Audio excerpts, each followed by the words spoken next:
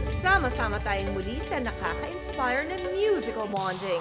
Beautiful, beautiful, beautiful rendition. As Pokey said, malalim ang hugot Lalim mo sa ng song. hugot. May emotional investment ka, di ba? Pinagdaanan mo yan? May nagpalungkot sa'yo ng ganyan? Meron. Pero nakakawala sa isip eh pag nasa work. May days nagigising ka talaga na, uy, I'm happy now. Yes! Ganun no? Parang, uy, I love Darla na again. Yan ang sign. Chris TV